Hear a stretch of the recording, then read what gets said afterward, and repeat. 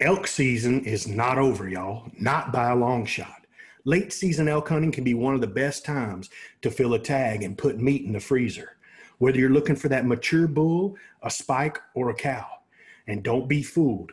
A cow or spike elk hunt can be one of the most exciting and epic hunts you've ever had. Yeah, buddy. And that's coming from guys with a lot of elk hunts under our belts. On today's show, it's all about hunting late season elk, knowing what you're looking for, where to find them, how to hunt them, and tips to help you along the way. Those topics, along with our Elk Bros shout outs and questions from our Elk Bros mailbox. So, my friends, pull up a chair, adjust your volumes just right, and welcome to Blue Collar Elk Hunting. Welcome to Blue Collar Elk Hunting, brought to you by ElkBros.com, with your host Gilbert Ornelas and elk hunting coach Joe Giglia. You want to hunt elk, and they live to hunt elk. Their goal is to share with you what they have learned grinding it out for over 35 seasons, doing what they love. So come on into camp and set a spell. Welcome to Blue Collar Elk Hunters.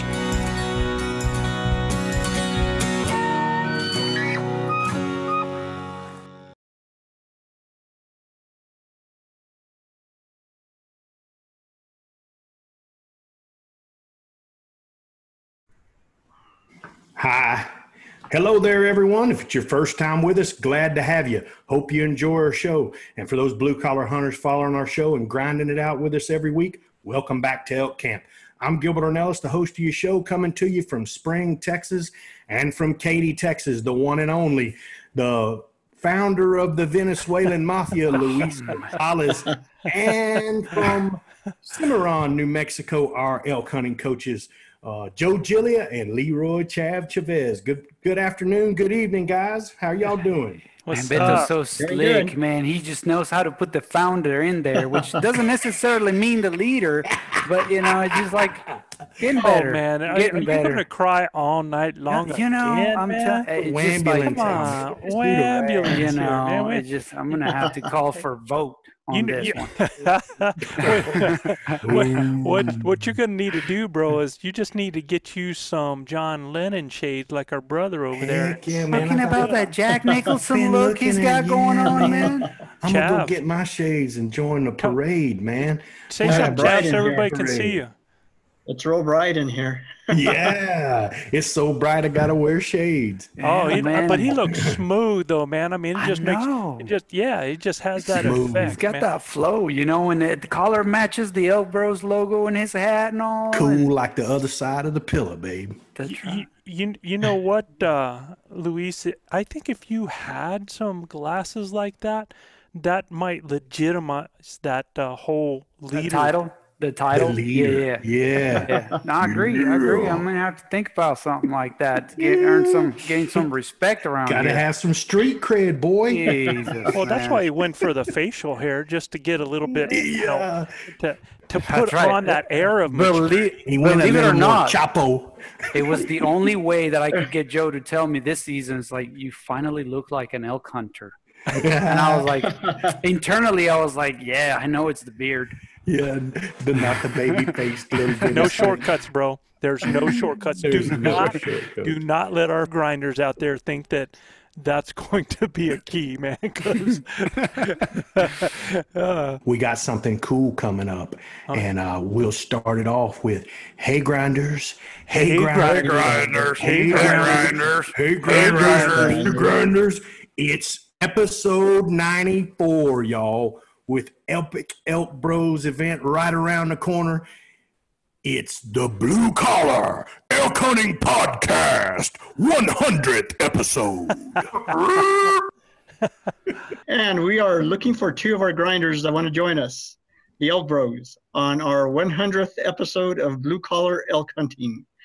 So if you want to join us, here's what you do. All right, first, tell us about your journey as an elk hunter. It doesn't have to be just this year, just your entire journey as an elk hunter. And two, why would you want to join us in our 100th episode? It doesn't matter if you did or didn't punch your tag this year, or if your hunt is still coming up. We'll be selecting two grinders and giving gear to some of those that ride in as well. Yeah, there we go, man. Amen. I I, You bet I you can't guys. wait till that hundredth episode hits, man. I'm I'm. It's going to be cool to see all this come together. Guys, you know what time it is. It's Shout time out, for the shout Elk Bros out, shout out. shout If you're new to our show, we usually shout out to a few cities with the most listeners topping our charts this week. Yep, and first up, this top listening city received its current name in 1899. Uh, Gilbert, you remember that date, right? Absolutely. because of its Got an uncle from location. I bet you do. Because of its location at the highest point along the Illinois Central Railroad between Memphis and New Orleans. Originally named the Highland Colony, guys, you might find yourself having to do a double take in confusion if you're driving down Interstate 55 here.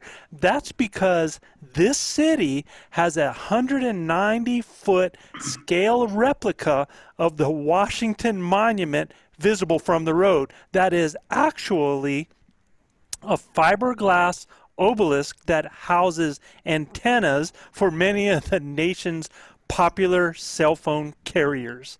And it's right here in Ridgeland, Mississippi. Ew! Ridgeland, Mississippi. 601 hand. What's that? That's the area code over there in Mississippi, 601. oh, 601. I, I would not know that. You lived there, didn't you? No, my uncle did. Hey, Mississippi, man, it's so great to have you leading the charge, man. East is coming in. Sounds good. And next up, we have um, this place separates the Gulf of Mexico from Laguna Madre, one of the few hypersaline lagoons in the world. It is the longest stretch of undeveloped barrier islands in the world. The park protects 70 miles of coastlines, dunes, prairies, and wind tidal flats teeming with life. It's 100 miles from South Padre Island on the same barrier reef. And this is Padre Island National Seashore, Texas. Texas in the house. The Lone Star State showing out. That's right. Yeah, man. It, so Padre Island National Seashore is its own community separate? Yes, sir. Wow, that's so cool, man. Mm-hmm. Yeah, Padre Island's its own little community. wow. Yep. And so these guys are they've actually got internet out there disconnected from the mainland then, right? Yes, sir. Absolutely cool, man. Hey guys, thanks for listening. You bet. Hmm. Okay, Tim, next up, Billy. Idaho's third most populous city, located 20 miles west of Boise. The name may have originated from a Shoshone word meaning either moccasin or footprint. It was originally called New Jerusalem because of a strong religious focus of its early settlers. Top attractions in the area include the, the Warhawk Air Museum and the Deer Flat National Wildlife Refuge in Nampa, Idaho. Nampa, Nampa, Idaho. Idaho. Nampa, Idaho. I, I, Man, you'd love to see Idaho in the house. I I've been to Parma, Idaho, and Boise over there. Um, Man, I tell you, with all the people and all the places that we've gotten from Idaho, really would like to go up there and visit some more. And it's not that far for us, really. So I think that'd be a, an awesome place to go. How many hours is it to, to Boise from Cimarron, brother? Is 10 or Gosh, 11? man, I tell you, I was in college when we made that trip with my roommate. But I mean, we just popped up there through the four corners into into Utah, and then uh, across Salt Lake City, just right there. Um, Went by the Great Salt Lake. I had never seen that before. It's cool Um, to be in oh, man. Coppermine. Let me Great tell you, where you go right there and how it changes from it, you know, from those prairies to those extreme mountains right there behind Oh, yeah. Salt Lake City. Gorgeous over there. And then when we got to um, when we got to Idaho, you know, the farmland, the rolling hills to the incredible mountains and the Snake River going through that. Another just gorgeous state over there. You know, there's so much of the West. Uh, shoot, there's so much of my own home state here in New Mexico I haven't seen, but you know, some gorgeous, gorgeous places in the West. So, um, Idaho, thanks for listening. Joe, this city is in the southwest portion of New York, located between Lake Erie to the north and the Allegheny National Forest to the south.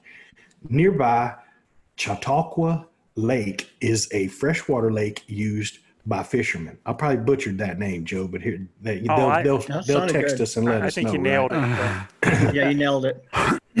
lake, by the freshwater lake used by fishermen, boaters, and naturalists. Once called the furniture capital of the world because of the once thriving furniture industry. It's home to the National Comedy Center as well in Jamestown, New York. Jamestown, New York. New York. Jamestown, New York. I, New most York, man. likely um, named cool. after King James, I would imagine, huh? I would imagine. Because we had I've never Jamestown, been Virginia. on Chautauqua or Chatta, Chautauqua. Uh, Chatta- I wish somebody, I wish somebody would tell us how to say that so we don't butcher it so bad. Well, but- we have some listeners from Jamestown, New York. You guys um, send us in something. Tell us how we said that right there. And, uh, and and I know you didn't mind us messing it up because you guys are used to comedy and we got plenty of that going on. yeah, absolutely. Last up, Luis. All right. Last one up. We got the capital of the Canadian pro, uh, province of Manitoba that is located at the intersection of the Red and Assiniboine rivers, known as the cultural cradle of Canada. It's located north of the jet stream, usually a cold air mass. Add fast winds, which are prevalent in the prairie town, and the weather can get very, very cold. Ooh, don't like that. Home to Canada's Royal Winnipeg Ballet, the Royal Manitoba Theatre Center, and the Winnipeg Symphony Orchestra. Oh my God. Winnipeg, Manitoba, Canada. Winnipeg, Our Manitoba. Canada. Yeah, that place sounds way too cultural for my kind. Man. Way too cold for I, mine. I guarantee My it's God. cold as Hades up there, boy. Oh, it Oh, man. unbelievably cold at times. They got again. the ballet, the theater, Yeah. the symphony. That place oh, is just they're all cultural, culture, Joe. man. Heck yeah. And I'm telling you what, buddy, I sure am glad that you had to say that name of that river because the way it's spelled, I, I'd have been all over the place with that. I uh, I had to get some uh, some help from my Man, friend it the looks like internet. Assiniboine to me. A, s- a Cinnabon. Yeah. Whiny. It's a So are good you thing, good thing you didn't give it to the to the southern boy down here. I'd have butchered it up real good. Well, well, are you saying you looked that up? A Did you get Cinnabon. that- Did, did you get that? Did you get I help had to no no I had to look it up man. A Cinnabon. a It's, uh, A Cinnabon is what uh, the pronunciation thing I found. You, you killed it, man. Except for that. Uh, I trust you, everybody. If Manano was here, mine would have sounded perfect. We're gonna blame it on Manano as usual. Yeah, we miss Blame Manano, man. Manano. We're- Hey guys, you guys listen. We're gonna have Manano back real soon, man. So He's feeling a lot better. yeah, yeah, he's Yeah. No, feeling he's better. out of the woods. Yeah, You bet he hasn't been feeling too good. Gonna be good to get our brother back. Absolutely. So y'all, um, tonight, man, Late season elk hunting, Joe. late season elk hunting, and there are a lot of seasons going on right now for bulls, cows, spikes. There are a ton of hunters still hitting the woods. Um, most of these people out there are rifle hunters, right? But there's going to be a lot of muzzleloader hunters, and and I even saw, and I'm trying to remember if it was Montana or Idaho, but one of those states still had a late season archery hunt that they're doing.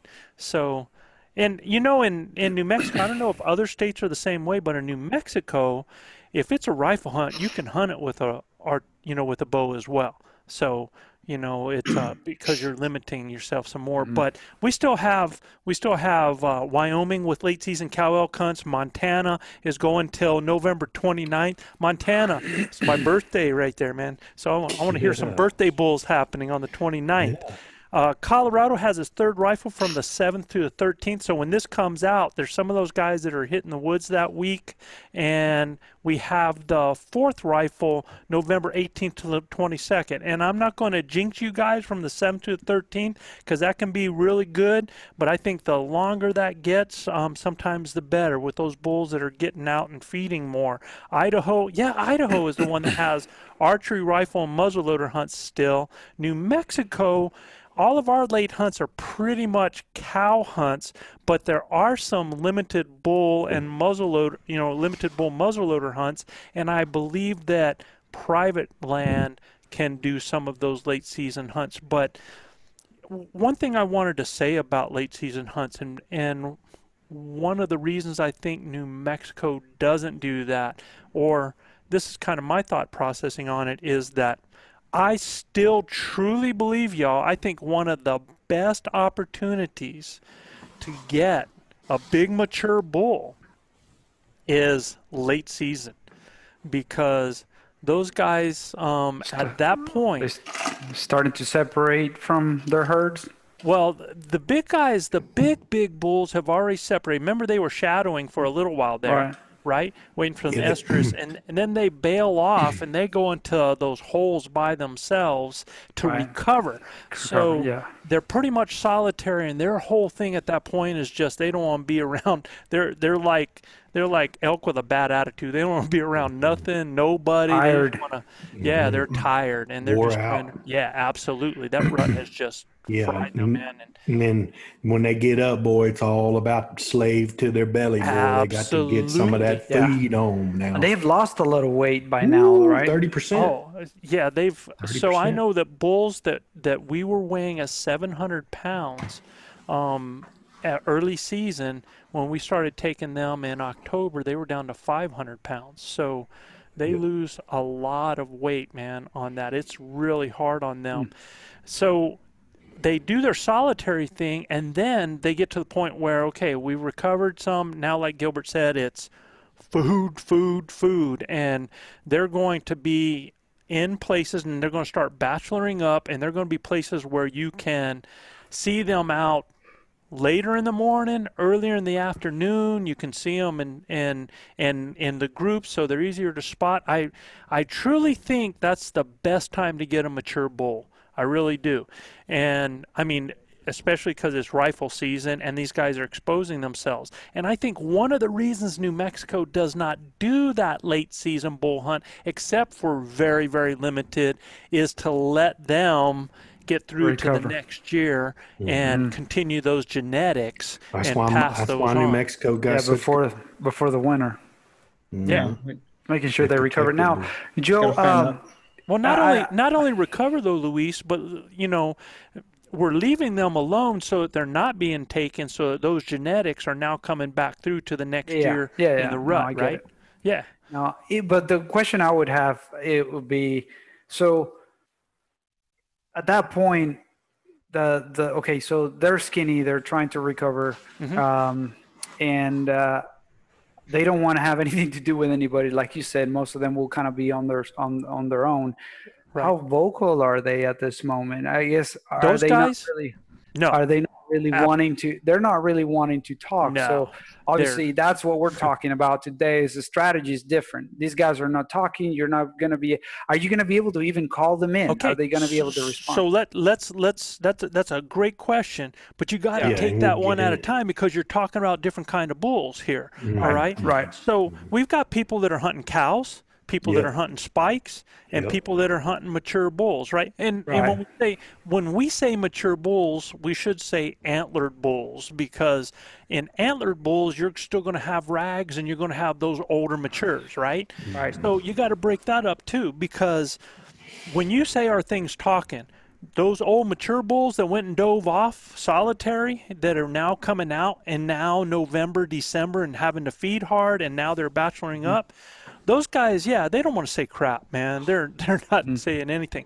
But there's still a bunch of rags, especially early November, that mm-hmm. are still going to be with the herd, and mm-hmm. then they're going to start splitting off and bacheloring up. Now those spikes are going to stay right at home with auntie and mama and everything like that in the herd, but those antlered bulls of certain sizes are going to go start bacheloring up. Okay. Mm-hmm. Now, mm-hmm. when you talk about are they still talking, there are still bulls in November that are with the herd that in the mornings will do some bugling. Um, mm-hmm. I've heard it into December, man. I've heard bulls in a herd bugling. But those bulls in that herd are generally not going to be real, real big bulls. I just was on a group of 300 head of elk last weekend that had multiple bulls with them. Well, none of those bulls were even 300 bulls. None of them. But there were a lot of bulls in there, okay? And there was even some of them that in the morning were bugling. All right, but that's just how that's going. Does that give you a better idea there? Yeah. Yeah. No. No. That's great. Yeah. So remember, at the in October after they split off in October by by this uh, November first period, and then especially as it gets later and later, these guys are now starting to feed and feed more. They're starting to get up. If we get snows that are hitting, they are really out and about because they're just uh, feed, feed, feeding. Man, they just need that energy source just to to survive. Water. Yeah. Yeah. Yeah. So, um, but he, here's something that I want to throw out there before, as we get into discussion too.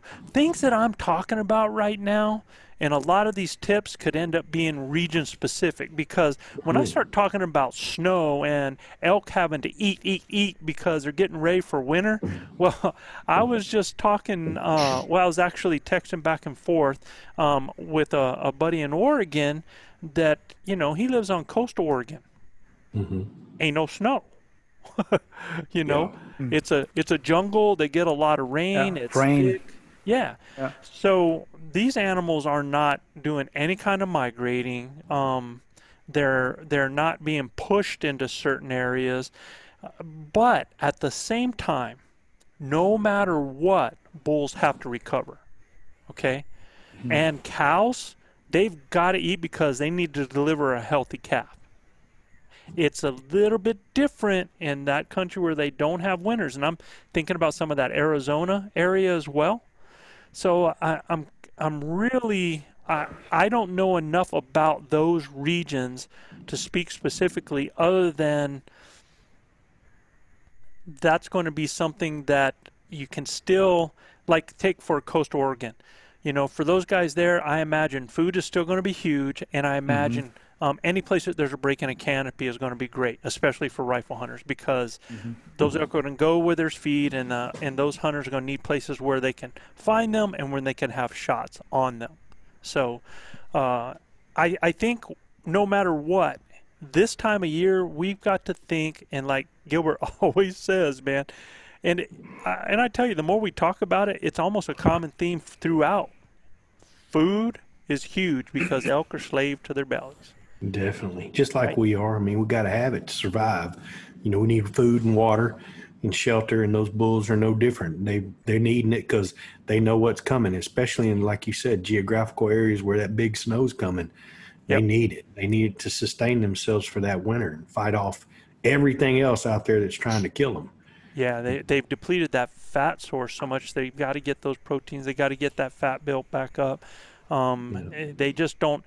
If they get caught in deep snows, their energy level to go on that is only going to be so much. You know, they've got to really um, take care of themselves. Yeah, and then I mean your fecundancy rate is important on it too for those cows finding food. You know, they've got Yes. to, you know, they've got to have a good fat source to be able to birth those calves and and then nurse them and stuff like that after this hard winter. So it's uh it's tough. Now that brings up another point too. Is uh, they don't want to deplete their energy, you know, in the heavy snow.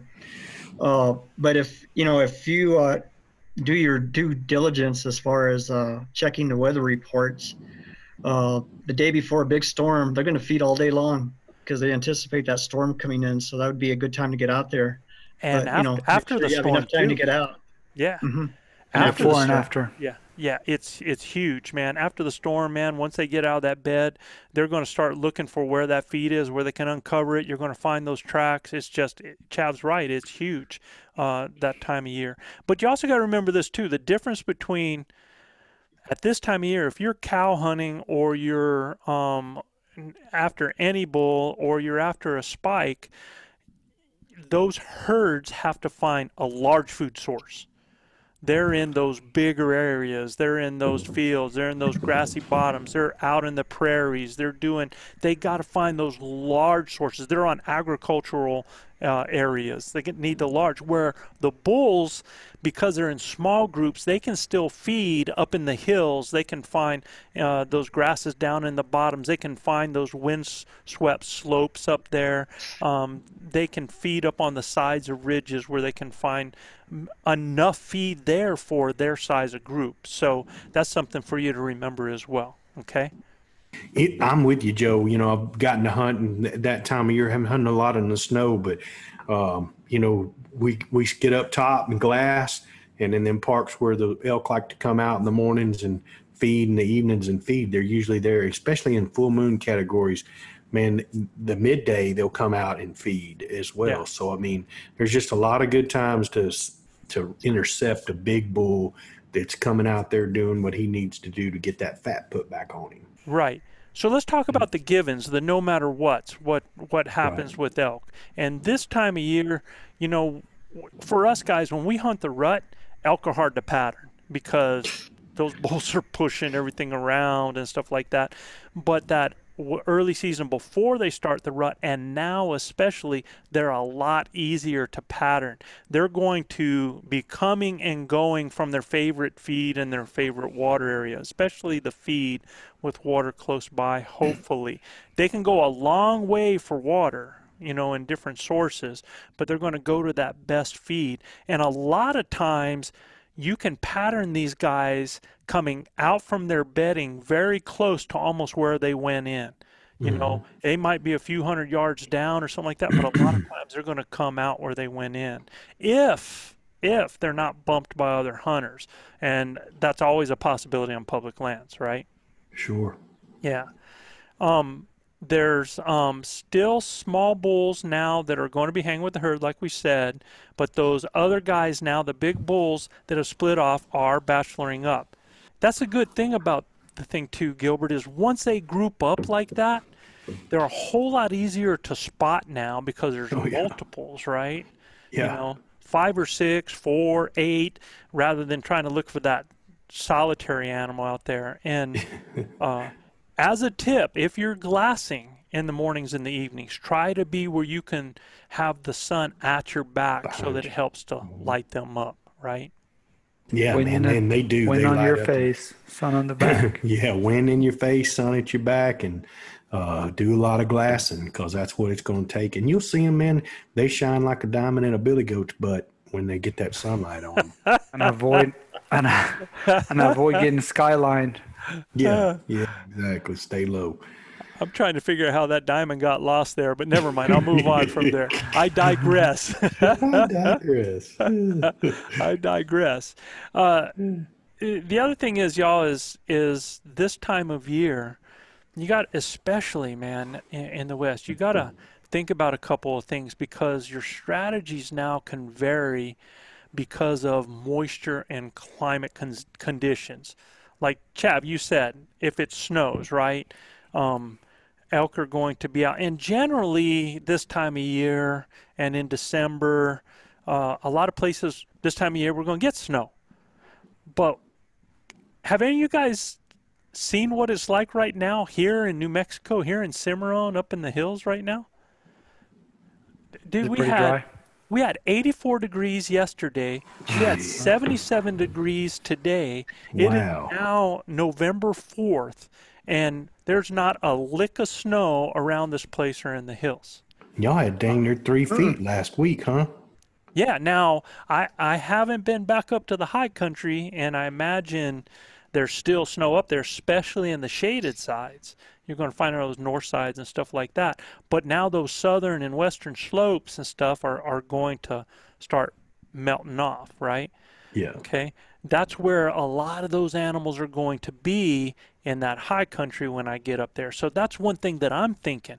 Now that I'm going up to hunt elk this weekend, I'm going to start looking at those southern slopes. I'm going to look at the windswept areas, and I'm going to look where that sun has already started beating down. It's not going to be the north sides. North sides are still going to be soft and deep up there. So if you have snow, what did we? Uh, we can go back to our elk hunt in September. If you have snow, what are you going to do? Man, dude. You Find stay in the your track. tent, wrap yourself No, up, and wait man. till it passes, man. Get you a track, brother, I'm get telling after you. it. Cut some track. Man, cut some tracks. It was some of the that was some of the funnest hunting I've done in a long time. Never done anything like that, but I'm telling you, it took me it took us about an hour and 30, 40 minutes to run them down, but we got it done, man. And uh, if we'd have had a rifle, we'd have killed two giant bulls, man. I'm pretty cool experience and and to and to uh, Chav's point You got to get moving. You get warm. no Oh, yeah. Yeah, and and we're going to talk about that a little bit down there too when we start talking about some some hints because yeah, you want to get moving, but a key thing if you're hunting this time of year and the temps are way down there, be careful of sweat. Sweat can be your enemy out there once you stop, man. I mean, Yeah. yeah, it can get pretty frigid. So, yeah, let's find tracks because even if the tracks are mm-hmm. old, they're going to give you information. They're going to show you the areas that elk are moving to and from, and that's information for you. Now you have places to start glassing. You know that elk have been down in this area feeding. Most likely they're going up to a bedding area not far from there. So mm-hmm. those are great mm-hmm. sides or ridges and stuff that you can start glassing up there they're going to pattern themselves. And the like Gilbert said, what's great about tracks is man, you can follow them. Yeah. well, how would you help somebody out as far as these people are going? Okay, if I'm going to follow a track, how do I tell the difference between an old elk track in the snow and a new elk track? Grinders tuning in, thank you for listening to the Blue Collar Elk Hunting Podcast. Our goal is to share our knowledge and help you flatten that learning curve so that you too can have some of the very same incredible experiences that have given all of us here at Elk Bros a lifetime of memories. If you like what you hear or see, you can get all of this information plus so much more from our Base Camp Elk Hunting Training Camp, the first in a series of online courses from our Blue Collar Elk Academy. Our Base Camp Training Camp allows me to use my coaching style and share almost 40 years of elk hunting experiences successfully hunting elk on public lands, as well as over 20 years guiding hunters of all ages and experience levels. This course will be like nothing you have ever experienced in concept and structure, using success based coaching techniques that will elevate your confidence and skill sets. Our camp will prepare you specifically from that final moment most in your control, those final minutes or seconds the elk is in front of you, backwards through each step and level, allowing you to see, visualize, understand, and relate every coaching point to what lies ahead the next step, the next thought process, the next success. Because, y'all, you've already been there. You know what it looks like. By tapping my 30 years of teaching and coaching experience, our camps are developed considering multiple learning modes with text, visuals, audio, as well as video. And Base Camp will benefit those new to elk hunting all the way to the 10 to 15 year vet. So if you are looking for that one thing to help you fill that tag this year, invest in the most important piece of equipment there is you and your elk hunting knowledge. You can find the Blue Collar Elk Hunting Academy and the Base Camp Training Camp at elkbros.com. That's E L K B R O S.com. Keep dreaming of the screaming, believing in achieving, and most of all, keep grinding.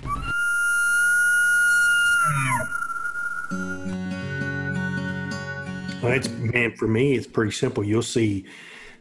for me, the older tracks were already crusted in ice in them. Mm-hmm. Right, the ones that are brand new, man, it's like their hoofs are so hot they burn a hole right down through the bottom of of the ice and the snow, and it goes straight to the grass. Uh, granted, we only had about two and a half, three inches on the ground, but Right. in that in that in that fresh stuff, there would actually be grass kicked behind those tracks. In the older tracks would be ice formed on the bottom of it, and uh, so you could tell that that that uh, that w- water that had melted is now freezing over, and then man, you'd see their droppings would melt Yeah. cylinder holes right through the top of the snow, and then the snow would be yellow uh, where they'd be peeing. And I mean, it's Right. real. And look, they urinate a lot. They're like cattle. Uh, so when in the snow, you're going to see that. And when you get the coloration, you can pretty well know that that's pretty fresh stuff. Yeah. And what I found is, and it kind of depends, there's different kinds of snow too. You got that fresh powder, and you have that little bit of crusty snow. Punchy. Mhm. Yeah. So, uh, especially in fresh powder, and you'll see it a little bit with the crusty, but that fresher, depending on the depth, like Gilbert was saying, I mean, when you start talking about two, three inches, is a big difference than when you're talking about eight, ten, twelve inches.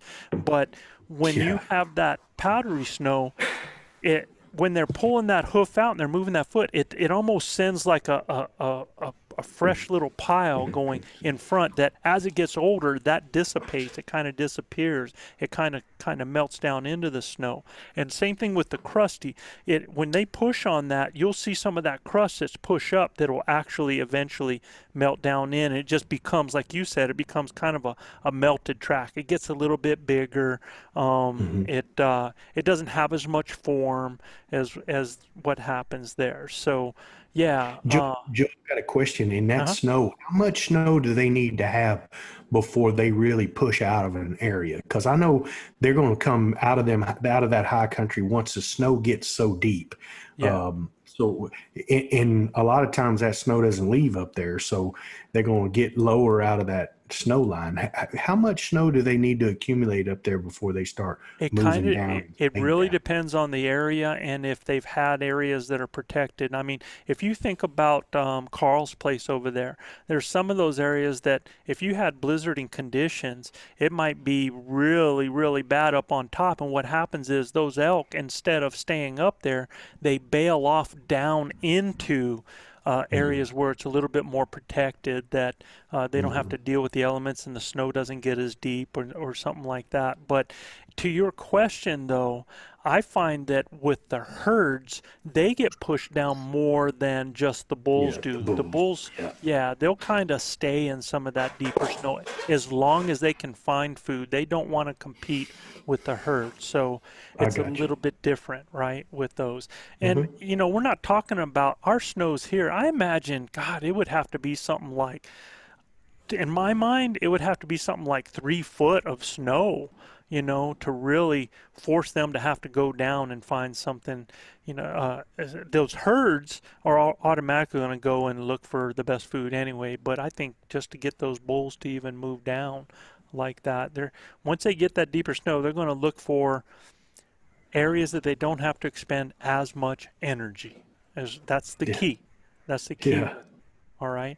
Um, I, and for you guys that are listening that don't know the difference, if if you are like hunting cows or hunting bulls, not only you need to know what a fresh track looks like, but you need to know what the difference is between a bull and a cow track.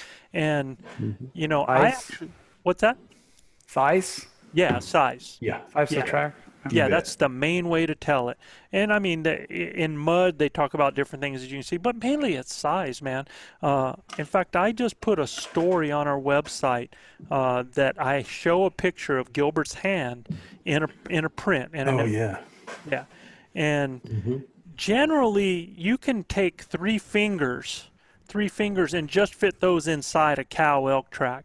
But you could take your whole doggone, uh, Hand. or yeah, almost your hand and your four fingers and put them in a bull track. It's definitely a size difference, man. Uh, But how, got so old sm- paw, how about how about like spikes or smaller bulls? Can they have the size of a cow track? Big cow? A a, ver- a, a young bull will be a little bit bigger than uh, a cow track, like a, like a spike. When you're talking about, a But I think at this time of the year, something else that you can kind of combine with the knowledge, the size of the track would be the amount of tracks too, No right, doubt. Joe? No doubt. That singular Because stuff's gonna be- bigger bulls will mainly be by themselves, so you wouldn't see a bunch of other. Well, and smaller bulls will be grouped up together, uh, and those cows will be with a bunch of other cows. So, uh, it, a lot of times those smaller bulls could be with those bigger groups of cows too. So, Right. uh, you're going to see a different set of tracks in those big herd. Uh, spikes will look a little bit more like cows and, and stuff Makes like that. sense. Not the same size, but uh, your your singular tracks that are off by themselves and away from the herd, and that are big, that are big as you, my hand. That's a big bull. So, That's pretty cool. It's almost like you- you're trying to paint your, the picture of what walk through where you're mm-hmm. walking and what you're seeing, and just kind of looking at the different sign and and see what they're doing. It mm-hmm. reminded me of the day that uh, Joe, you and I and Manano went out there, and we were following a couple different groups, and we saw where they bet it and we could see how fresh it was, and we were just kind of trying to peg which direction they were going, and and mm-hmm. that was pretty neat. Just trying to paint a picture of okay, how many, which direction what were they trying to do, what we're loo- looking for. So Yeah, those tracks told a story. It told us, you It know, what kind of group it was and uh, what they were doing. And it sure did. when you start talking about the bulls this time of year, when you're finding, and, and I told you guys at that time, I wasn't looking for a single track. I wasn't looking for the single bull. I was actually looking for a group of three tracks, four tracks. I was looking for a Yeah. bachelor group together at that time, is what I was Yeah. looking for. And so mm-hmm. when you're finding those small groups of four sets of tracks, five sets of tracks, eight sets of tracks, now you're generally in those areas you're talking about, especially this time of year, because the herd's going to be huge for cows, like Gilbert was saying. So when you find Big those time. fours, those fives, those eights, that's going to be bachelor bulls. Okay. Yep. Yeah. Yeah. And- Yeah, th- those cows, man, it's going to be a ton of track. Again, you can go to our website. Go go to our website and check um uh, late season tips there, and we have some pictures of some of that on there. Okay, but guys, what if there is no snow on the ground? What if it's a dry and warm year? what what what are you going to do? I mean, there's nothing to track. Yeah. They yeah. still need water. Well, there you go, Chav. Hmm. Bet you they're going to have to have water. Got to Yeah, have water. water's key. Yeah. I, and you know, Joe, when I harken back to our hunt this year, I truly believe that's where we cut a lot of them elk from because that's where they were going. Yeah. Absolutely. you I mean, it was they dry. were headed to water. It was hot. Oh yeah, And, you know, it's still food, food, food. And what happens in a hot, dry year, some of those grasses, like I said, I, I was on a bull elk hunt two weeks ago, and I was in an area where the grass should have been good, and there was none. There should have been water. There was none. The grass had already been chewed down, so now those herds were forced to go down into lower areas where there was still water down there and where there was some grass growing. So, you know, you're going to find that water source and it's going to concentrate elk, man. It's going to pull them together. Uh, they're going to, and especially, you know, you find that food source, that water source, that's going to be key on there. And definitely. just because but guys just because there's no snow doesn't mean that the elk still aren't preparing for a winter they've still got to eat they've still got to get that back and they're you know they can tell things about the upcoming winter that we can't Yeah. I yeah, know. it's weird. All animals feel it, can, Joe. man. They mm-hmm. feel it. They know it's coming. Barometric pressure or something. They just kind of some they they can yeah they can feel it. well like chav said if you look up and you find a weather report and the day before they're out feeding hard well they didn't they didn't go on channel 7 and check out the weather man Well, you don't know that. maybe maybe you know something we don't man Yeah. we got that crystal ball ready. Yeah. Guys, so if you are, let's talk about where to find them then. So, uh, cows, if you're hunting cows, this time of year, cows are going to be feast or famine because it's going to be big groups. So it's not like the archery season where you're going to run into group after group after group. It's going to be large, large herds, and you're going to find them in large meadows. You're going to find them in parks. You're going to find them in grass bottoms, on the prairie, agriculture areas, like we said. You're going to find them in private land that hasn't been overgrazed by cattle. They'll go on it, they'll come off of it to bed or to get water unless they have all of that on the private land. Um, and the the interesting thing is about cows is they will bed in more open areas during the day, especially snow-covered hills that are that are windswept and stuff like that. The bulls, though, um, the bulls like to winter in the same areas generally year after year. So again, if you're glassing those ridges, glassing the slopes, glassing the sides of mesas, um, I got a bull one year because they they would feed in the morning. I caught them where they were feeding in the morning. They would go into the trees and they would not bed 300 yards from where they went into the trees. Get lazy. Yeah. They Yeah. do not want to expend want energy, man. Energy. Yeah. Want to conserve energy. Yeah. Yeah. Yeah. All about conserving energy. calories. You know. Yep. So there's two things you can do with that. You can you can continue to glass them where they bed, and if you find where they bed down after they bed down in the morning, they are there for the duration. So if you can figure out how to make a move on them, make a stock, get above them, um, mark them on your um, base map app where you think they are, and then take a look at the topo on that and try to make a move on those, okay?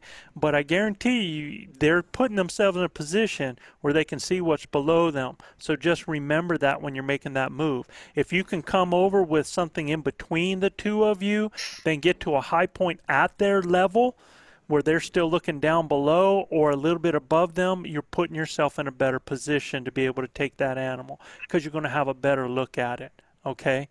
Uh, and then be ready. You know, don't lose an opportunity, you know, for wasting time not being ready.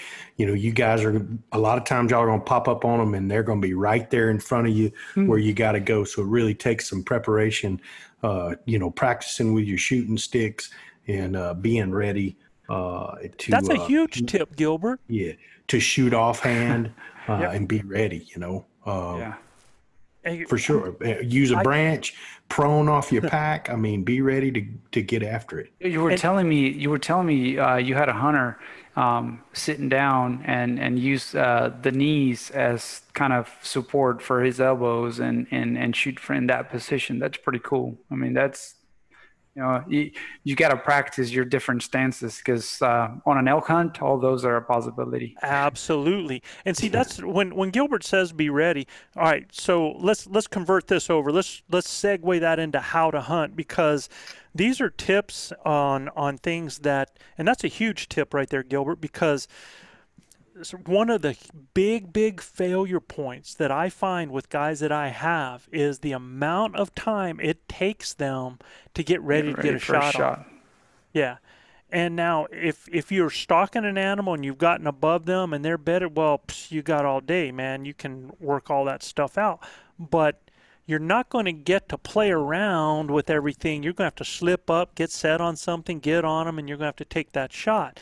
But I'm telling you, when you come out there and all of a sudden you get an animal and they're moving and they're getting ready to get in the trees where you're not going to have a shot, you got to think about some things that you got to do and you got to be ready. And I mean, at that point, let's say that animal's moving up and you want to get a broadside shot and they're getting ready to disappear. That's where that call comes in. You know, um, mm, stop him. Yeah, you know, because mm-hmm. Luis, you were asking about calling elk. Well, that's when you do it yeah, we're not going to call elk to bring yeah, them in. You're not going to call them in, but you're going to get his, their attention for sure. They're going to turn and like, who's talking? And yeah. why are you talking? yeah. yeah, yeah. I, I, I can tell you, I have stopped bulls that I I've had a hunter, got the hunter in place, and the bull's coming. I stopped the bull, and the hunter couldn't get the bull in the scope had yeah. had the scope dialed up too, too much. Too zoomed too in. Yeah. yeah. yeah. Guys, when you start out, start out on four. You can pick him up and then dial him on up from there. You know, don't start out at 10 because it's going to be a lot harder, especially in that white snow. It's going to be a lot harder to pick that bull up because everything's going to look white. You dial that thing to four. I, I do it with my kids. We get in the blind uh, deer hunting. I put it on four. They find the animal, dial it up, and it's a so when when you deer hunt, what is the length of the shot that you're shooting? Typically hunt? under 200. You're right. Typically under 200 yards. It's under 200, right? Mm-hmm. Uh, are, are are you are they between 100 and 200, or are they under yeah. 200? Sometimes they can be under 100, but right. uh, and that can be challenging in itself with a scoped rifle, being as yeah. close as they are. You know. Yeah. So again, it's just much better for us to turn the turn them down to you know it's not doesn't take too long to turn it back up yep. uh, and or leave it on five you know? There have been a lot of there have been a lot of animals killed with a four power fixed yeah, scope you know? absolutely. So, i mean and even even if you're close uh, to your point beto it's hard if you got several animals there it's it's so easy to get on the wrong animal too oh, yeah. when you're when you're not when you're dialed in that far I can't tell you how many hunters I've had. You know, I've guided a lot of guys uh, deer hunting and stuff like, and had some elk hunters too uh, that you know, with muzzle loaders that couldn't find them. And I'm like, oh Yeah. my god, he's like as big as a Yeah, house, but he's got it turned up on nine, and he can't. You know, the bull's 110 yards from him. He can't find him. So as soon as I dial it back to four, oh man, yeah, got him. Yeah, okay. Well, run him back up on nine. But guys that that don't do it all the time, you know, I, that's the first thing when a guy gets in the blind with me. I say, hey man, you know, I ain't trying to run your business, but what's your scope set on? And they're like, oh, I got it on like 12. I'm like, "Mm, mm, yeah, let's move it back to four or five. They're like, huh? I'm like, look, you'll thank me in here in a little bit. You Yeah. know, when when the because when the pressure comes and everything you know is uh move everything's moving fast, you're going to need to be able to pick that animal up. Well, and and you you guys get excited. Mm, um, so that makes it a little bit harder. you The gotta other get thing excited. is, is That sometimes never when happens to me. I don't know what you're talking about. you- Who did it sometimes when you zoom it up and then let's say that you've just gone up a hill or you you see that bull and all of a sudden you get those veralaques and you get you get excited now you're breathing hard and and you when you have that z- zoomed up there it's hard you feel it's jumping a little bit and you're like oh i can't stay on i can't stay on right Mhm. um, and I'm going to give you a little hint for that too, because I've had veteran hunters that have been in that position. And I've always told them look, take three relaxed breaths, one, take a deep breath, hold, and get on. Because when you're breathing, you're going up and down, and uh, you know it's it's moving everything a lot of times. So sometimes I, I don't know if you guys do that when you shoot. Yeah, so I have a breathing technique that I use that they taught us in in ERT training, emergency response training.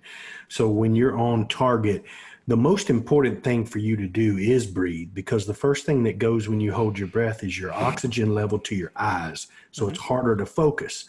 So we those three big breaths are perfect, man, because you get a lot of oxygen in there. We purse our lips together and then we start pushing air out. So we're actually exhaling as we're squeezing, and it's all an internal timing thing where you're exhaling as you're squeezing the trigger, and then all of a sudden the gun goes off, scares the hell out of you. Uh, so it's part of my trigger squeeze regimen.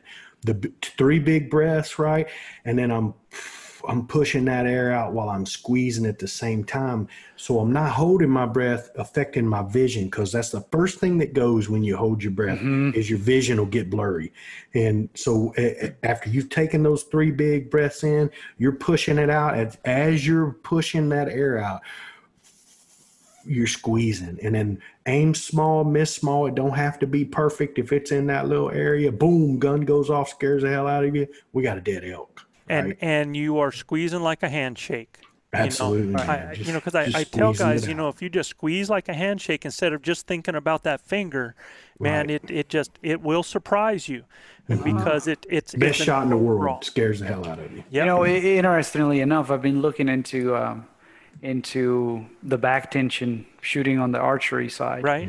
and uh, you know, it's it's it's it's a way of act- you can actually do it with our, our normal releases, and and you actually start pulling back slowly with your elbow pointing out, and all of a sudden you have to let it surprise you.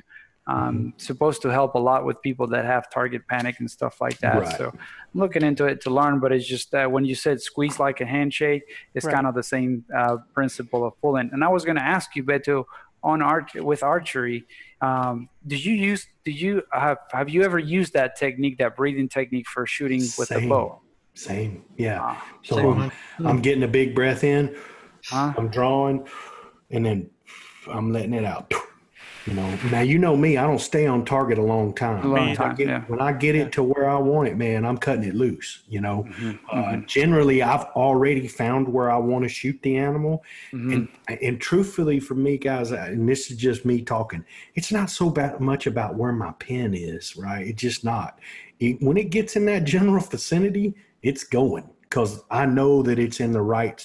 We, you know, you you hear this all the time: aim small, miss small, and um, you know, I believe Absolutely, though. I Yeah. believe in that. Yes, it- absolutely. it's part of my my makeup. So as soon as it's there and I'm squeezing, it's going to break because I am starting my when I get to my when I get to that Anchor. anchor, I'm starting my squeeze because I've already seen where I want to shoot him, and I'm already in that general vicinity. You know, so for me, guys, it's more about practice, but that twi- trigger squeeze, but that trigger squeeze is the same for me when I'm archery hunting as it is for when I'm Cool. Yeah, that's. I was wondering about that. It's pretty neat. yeah, and if you do um, any studying at all about sniper shooting or anything like that, you'll see that there's breathing is the most important thing in the world. Just want to add another factor that that occurs when you're uh, hunting in the wintertime. You know, the groups are really big, and uh, if you have a license for a cow, you better make sure it's a cow, not a spike. So you know, check Good stuff, Chav. Absolutely. because a cow looks just like a, oh. a spike will look just like a cow unless you really focus in on what you're going to shoot. You're right. And And, and, not only groups. and and Oh. Chav, to your point too, there's generally a whole bunch of them, so you Yeah. better make sure that the background behind them is clear as well. Right. Because, you know, uh, uh, otherwise you're explaining how you got two with one shot. You know, that's Yeah. Yeah. in, in dove hunting. In dove hunting, it's great. In elk hunting, Always celebrate. Yeah. good. Yeah, we had we had somebody up here a couple of years ago use a, a high powered army rifle, I guess, and with a shot full like metal three elk, jacket. It was actually Yeah. yeah. shot three elk with one shot. Oh, yeah. man. Wow. That was expensive. But, yeah, Well- that was an expensive shot. Well, and and with an illegal load. I mean, you're not supposed to use full metal jackets. Yeah, not so, supposed to use any full FMJs. Yeah, no. So, Yeah, it, it's But- important, like Chav said, to make sure your background. Uh, us whitetail hunters here too. When we got guys that we're doe hunting, we're actually cow hunting or doe hunting. Mhm. So easy to mistake those younger uh, little button bucks uh, Yeah. for a doe, for Yeah. a big doe. We got to Yeah. really do our glass work, you know. Yeah, Mhm. if that And- head is down, man, wait till you can Yeah. really see it good. I mean, because you might have seen it and you thought it was a cow, it put its head down, and you take that shot, and while that head is down, uh, without having a real good look at that head, make sure that you've checked it out really good. Chav's absolutely right because that can be a mistake too. Now, in some states, it's what they call antlerless. So Yeah. a mm. six inch, a six inch is considered antlerless. Now, there's a difference between a mm-hmm. cow and an antlerless, right? So mm-hmm. uh, that that that's a little bit different. Check your state, check your regs on that. But what we were saying before too about the opportunity and wasting time, and I was talking about stopping an elk. I've I've stopped an elk with a cow call up to five times. I've stopped a bull because I've had Yeah. different things with my shooter happen, right? But Mm-hmm. that's the same thing. If you don't have that skill set by yourself, uh, you don't have to have a cow call in your mouth. You just yeah, just like that. Throw a whistle Mm-hmm. out. They will stop. But guys, man, if if you're going to shoot off shooting sticks, I think so much time. I think there's a lot of shots that guys use shooting sticks that they could just shoot offhand. Honest to God, Mm-hmm. uh, I think they could get down in a kneeling position, kind of like army kneeling. You know, Yeah, one knee down, up on a knee, and shoot. Yeah, and um, I, I think you need to practice it offhand. If that's a hundred yard shot with these weapons, man, it's like Gilbert said, put it up, put it on the spot, and squeeze, man, because you can drop that animal. Uh, My favorite way to shoot a rifle in in uh, in the field, like if I'm elk hunting and I'm shooting, is prone. Uh, It's my favorite way to shoot off my pack. I Yeah. can, it, you know, hopefully I can get above the animal and I'm shooting down off of my pack, and I am rock solid. Like you better not wiggle your eyeball too much because I'm gonna I'm gonna send it in there. You know. Yeah, you Which put is- you put you put that hand uh, close to your neck, like underneath Oh, the man. underneath the, the back of the gun, like that. Just yes. yeah. Absolutely, it's but rock it- solid. it, which is awesome if you, if you have that ability to do that Yeah, because of the yeah. terrain. But a lot Yeah. of times you get that high grass, you get the brush, Yeah. and so you got to be sitting and and so whether you're going to sit with your knees down or your knees up, practice those positions and practice so that you can when that opportunity comes, you can get in that position, you get them into the scope, you push off your safety, your fingers now on the trigger because it's not going to be on there until you're ready to kill something, you know, mm-hmm. and and you're going to squeeze off. But it's all got to. It sounds like it taking a long time, but it's only it's only parts of a second, man. If you if you get mm-hmm. used to doing that, and look, guys, you don't mm-hmm. have to practice shooting with rounds. You can do all of this dry firing a, a, a weapon. You know, uh, right. you can get hundreds and hundreds of reps in doing that. You know, in fact, I Mm-hmm. like that especially with kids.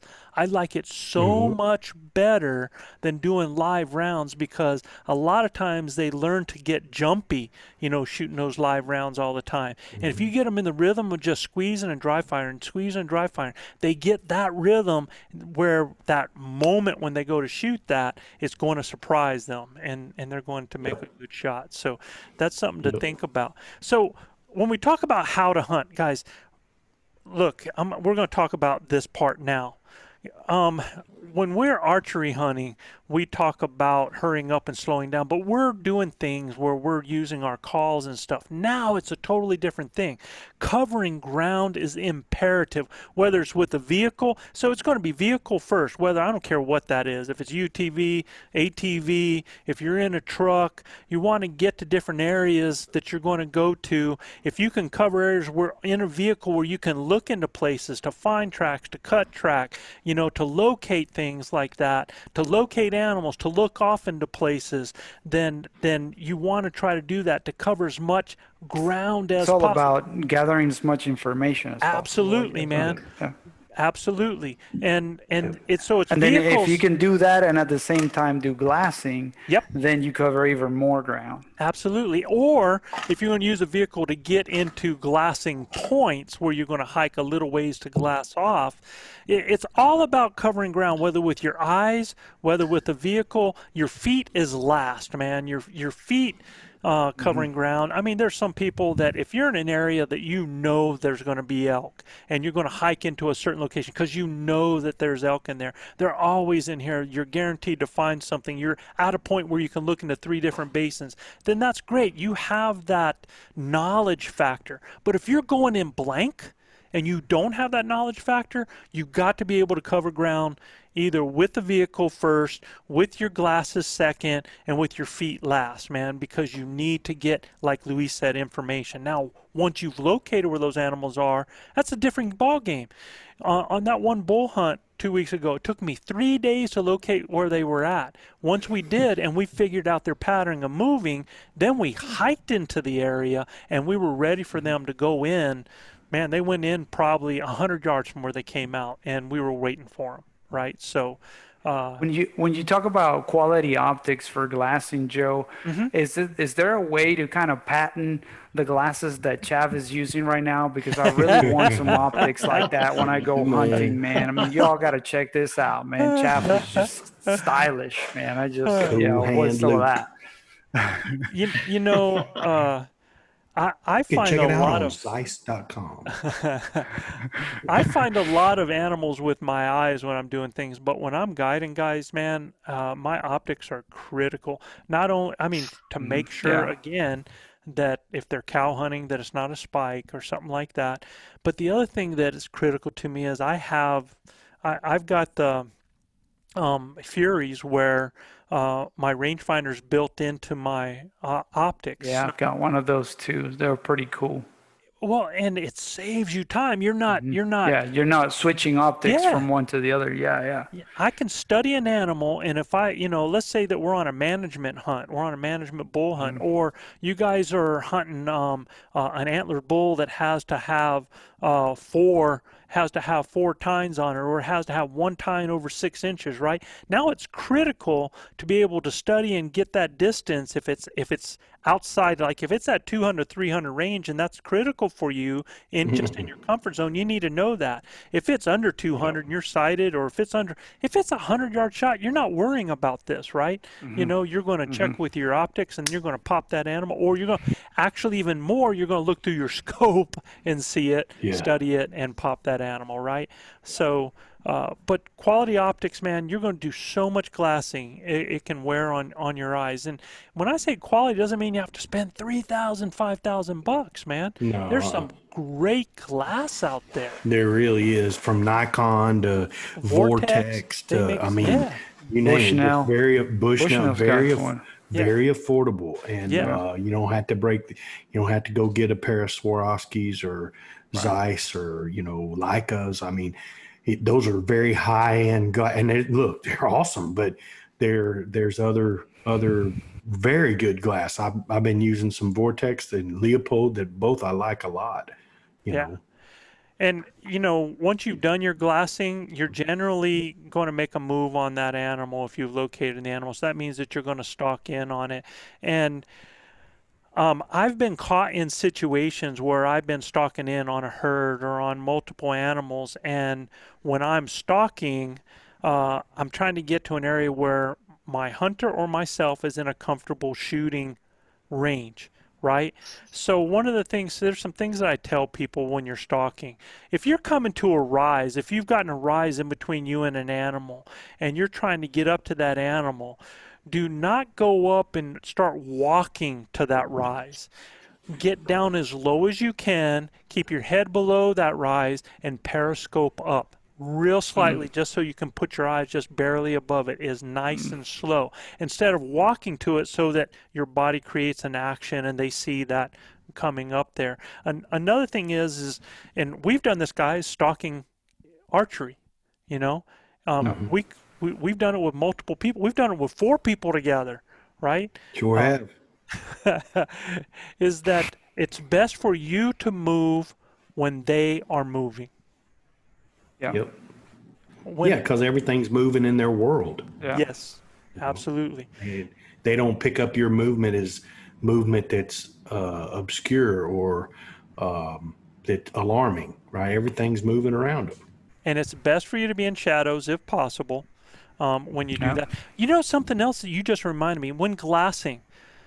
When you're glassing an area, it's kind of like the same thing with what we just talked about in elk. It's better to keep your glasses still on an area and look in that area with your eyes rather than Yeah. keeping Bec- your, your Move your eyes yeah, if you keep the moving your glasses. yeah, yeah, that's an excellent point because if you keep moving your your optics, then you're gonna miss out on small movement. But if you keep them steady, then you pick up on any small movement, and those, those could be animals. That's an excellent point. An ear Yeah. flicker, just the Yeah. glint of a. Yeah. You want to put Good those stuff. glasses there and you look through all areas of the glasses and then move your glasses and then check a all those areas of the bit. Yeah. glasses.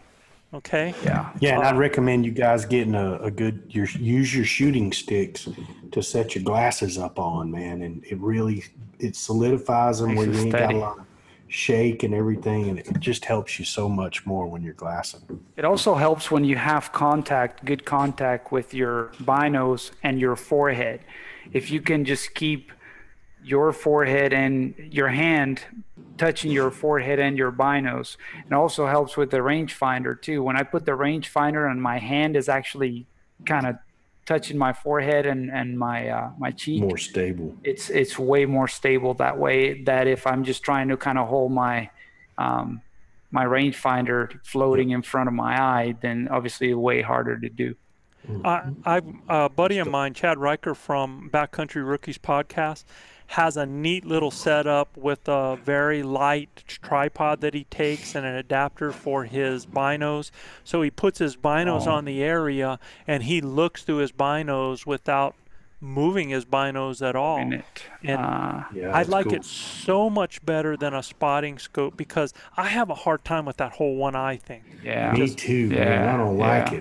it. A lot of guys use them, and when, especially when they're, you know, I've been on some of these bull hunts that we're shooting inches, you know, and you know, got to know. So it's really important to be able to see if it's that 25 inch four or five, you know what I mean? So they break out that big thing that can see them for four miles away. But man, it is hard to get one eye. and then your there. left eye gets blurry. Oh man, it's something Right. else. When, Yeah. it's blurry I after, just- and when you try to open it up, and it's like, man, it's blurry on one side and kind of neat on the other. And it's Pretty hard to- cool when you're looking at them from miles away, though.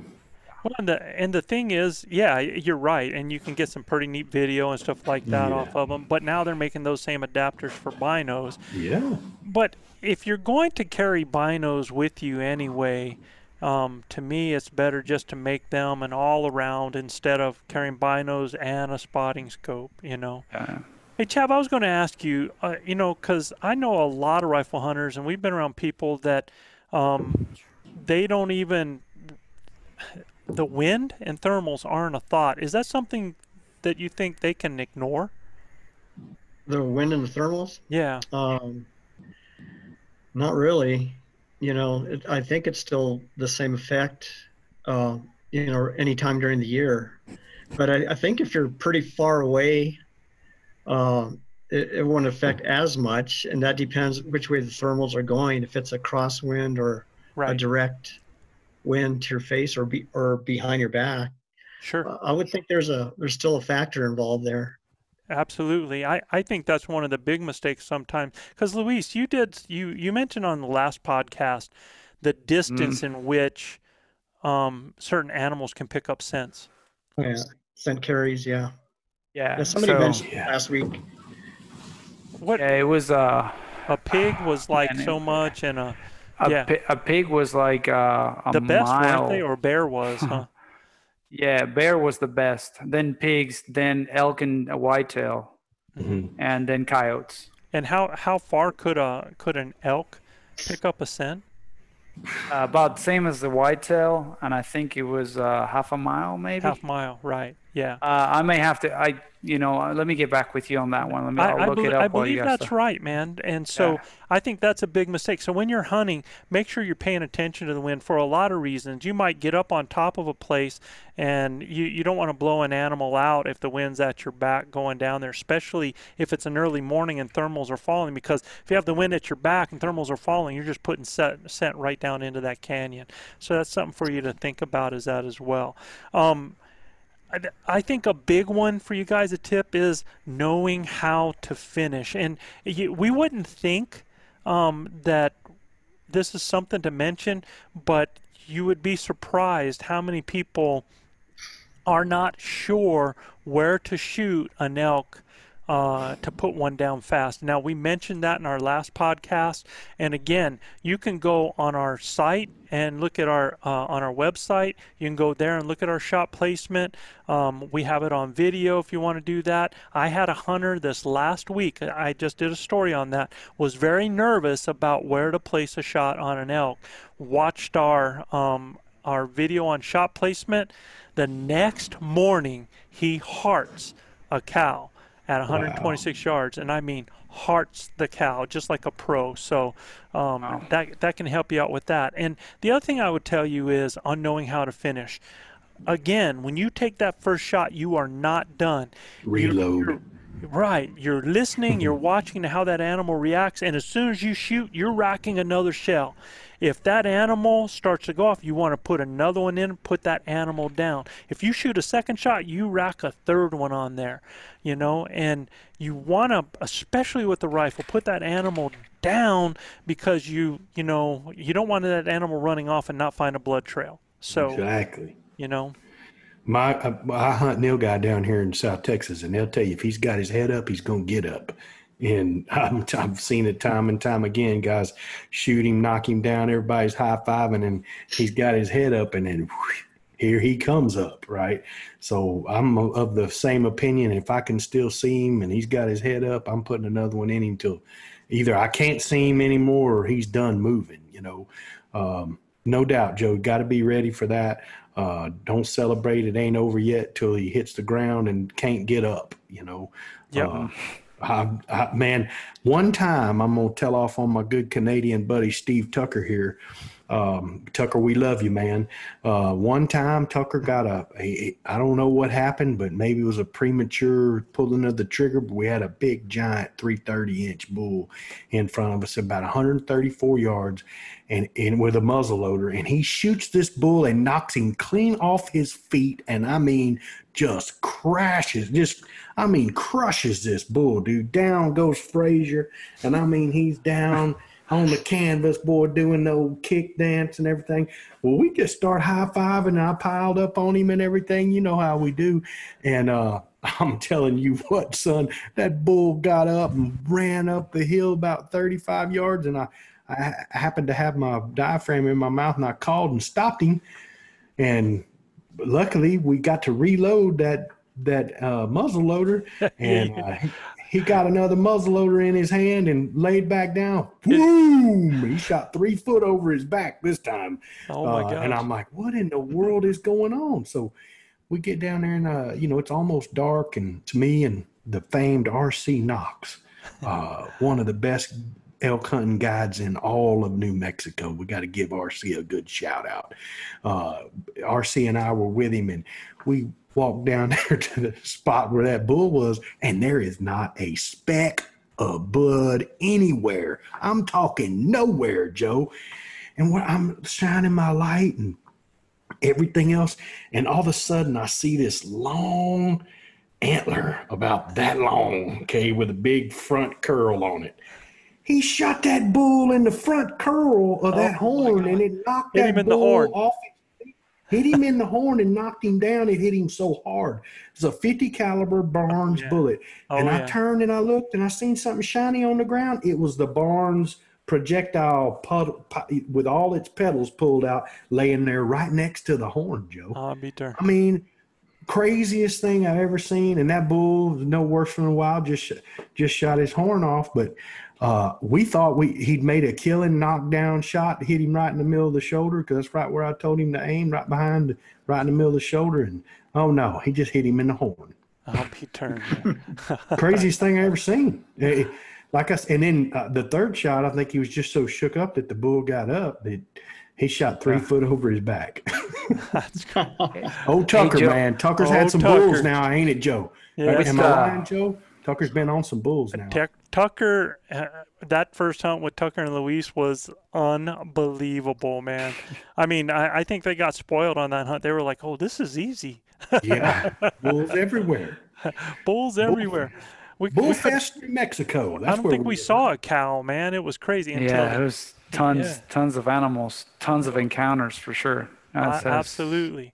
Hey, Hey, Gilbert, uh, man. coyote, quarter mile, whitetail and elk up to half a mile, wild hogs up to five miles, and Wow. then black bears up to 20 miles. Wow, that's crazy. Now, Unbelievable. El Oso's got it going on, brother. So you guys out there, man, we're excited for you. You you late season hunters, it's a great time. It's a great time to hunt.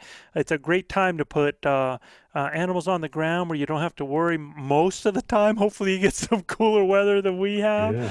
out here. Uh, it really helps with that. I, I will give you one tip though. Uh, this this time of year is it sure helps if you use rubber gloves in your kill kit, and uh, sometimes if you uh, if you you do a, a double on that just to kind of give your hand. Once you get inside the carcass not bad but i tell you when you when you start to come out and all that blood's on your hands it can it can make that hand pretty cold. Uh, but the nice thing is you can get it off without having to wash with hand you know wash with water and stuff and that helps in freezing conditions. So that's one tip there. So gilbert why don't you take us to our elk bros mailbox man? Sounds good. Well, uh, we're going to go down to uh, Drew uh, Sayer, I guess is how you yeah pronounce drew that. we left Sayer, drew sorry. hanging last week huh We did, man. He's got a whole bunch of stuff that uh Drew's from Birmingham, Alabama. And guys, we like it when y'all put where you're from. Then we can Yep. announce, you know, give you a little shout out to your hometown. They're out of Birmingham, Alabama. The Crimson Tide folks are doing well. And uh Drew, we're going to read your question here and see if we can't get you some answers. there you Uh, go First off, he says, staying in the areas we've Well, hunted. let's see. Right on the top says he's working out something there. See that? Oh, gotcha. there? Yeah, he says Yeah. we're working through some pros and uh, and cons of. Okay, First so he all. says staying in. Yeah, first of all, staying in areas we've hunted, familiar but uh, low elk numbers. He said versus moving to a new area with high elk numbers. Hmm. Uh, keeping in mind that I don't live in Colorado anymore, so I'd like to have to go in blind. Really, uh, he says I might uh, be able to sneak in a quick summer scouting trip, trip, but maybe at the expense of days in September. Hmm. My sense is I'd rather scout with a weapon versus scout without one. Yeah, yeah, yeah. And, He says too. Yeah, well, let's let's go over number one before we move to that, Okay, that cool. second one there. And uh, I don't know. What do you guys think? He says he's he says they're thinking the pros and cons of staying in the area they've hunted that they Yep. know, but there's low elk numbers versus moving to that new area. And and you guys heard the rest of it there. So what what do y'all think? I, I try something new. hmm I mean, I you know that you may you may find that new area if you think there's more elk numbers. I mean, you you're trying to increase your opportunities, right? So yeah, you, you may have to do a lot of learning early on, but then, you know, once you get familiar with the area and understand their feeding, uh, their water sources, um, you may be in higher cutting than you were in your old area. You may end up finding out this place is way better than the one you used to hunt. Yeah, I, I kind of agree with that. And, and, and Drew, if you use base maps or onX to do a lot of your virtual scouting, man, E, e scouting. I think you can re yeah, e scouting. I think you can really uh, do what you're talking about in a scout with a weapon versus scouting without one. So, uh, you know, I, I I think that's the way I'd go. I don't know about yeah, you. that way you won't go in so blind. Yeah. What Well- about you, Joe? What would you do, Chav? Well, I think if uh, if they do know the number of elk as far as uh, you know a high concentration or a low concentration, I'd probably go with a high concentration uh, because they're there for sure. Uh, whereas the first one could be feast or famine, you know. So uh, I'd go where the elk are because if the cows are there, the bulls are going to be there too. Yeah, I, me, I when I look at that and I and I see somebody's familiar um, with an area, that to me is is a huge plus. And so the first thing I would say is, how many encounters are you having a day when you hunt that area? How successful have you been in that area? Yeah, I mean, if you're having multiple encounters a day because you know it, even though there's low elk numbers, sometimes low elk numbers sometimes equals low hunters. And if you know it and you're having a multiple encounters, then then I'm, uh, you know, for me that's a little bit tough one because then you're leaving elk to go find elk there. So it it just kind of depends on. Uh, I would gauge it that way. Now, if you're not having a lot of encounters and you're bumping into a lot of hunters, Yeah. you know, Yeah. yeah, Try heck, something else. Yeah. and that's the way I read it because when he says familiar but low elk Low numbers, number, when he says low elk numbers, to me, he's telling me he's Not seeing haven't very had many. much encounters. Well, when I see low elk numbers, I, I it looks like he's looking at total herd size from one place to the other. It could And- be. Oh, on data that he's looking Yeah, at? yeah. Oh, I got you. To me, that's gotcha. what I see because he's comparing one area to another, right? Got you. So Mhm. that that's the only what I see there. Now, if I do go to the new area and I had that choice of um, going in early in the summer versus September, dude, it's September all the way. yeah, because- absolutely. Yeah. That With a summer gun in your hand. yeah, that summer scouting trip, you can go in and you can They'll get to know the area. Um, Yeah. You- You're you're learning topography, not elk behavior or anything like that. Yeah, and and now I'm not going to knock knowing topography because when sometimes when you can relate what you're seeing with your boots on the ground with what you're seeing on base map that helps a ton. But I'm with you, dude. I mean, we like to hunt scout. If I if that meant me being there and having more days in September where the elk are where they're going to be rather than mm-hmm. in summer where the elk are and where they're Yeah. not going to be in September, I'm mm-hmm. definitely going with with Getting fresh info. Yeah. Plus, I mean, even topography, uh, you know, vegetation and stuff that it changes a little bit from the summer up until you get to hunt. So Well, even right. then, things may look different. amount of water Yeah. changes, the type of grass changes, you know, those types of things. So, You know, when I was fishing professionally, I would I would practice when I first started, man, I would practice in the areas that I was going to fish during the tournament. And man, I'd beat those fish up. And when I'd go back to them, they didn't want to bite very good because of the pressure that was on them. So what I'm trying to say is when I changed my practice, uh, how I practiced or how I pre-fished, I would go to new areas that I've never been before and I would just go look. Uh, I wouldn't fish. I would go look at the area and see what the bait looked like, see what the creek channels, the grass, the cover, stuff like that. And then if I did fish and I found something, well, I would, you know, use that as a backup plan to come back to. And a lot of times my plan A wasn't wasn't working, so plan B was man plan b glad i found it right so that's how i got to learn areas was just like he's talking about go in there do some scouting learn the learn the area of the land and then uh, come go time come game time i was in there you know uh, with boots on the ground and, and figuring it all out so right.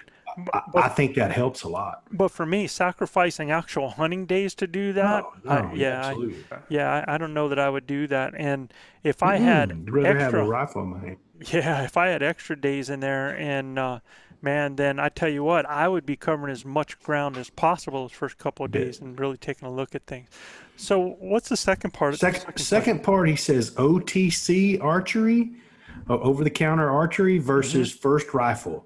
Limited entry, but only looking at areas that are not likely to require points.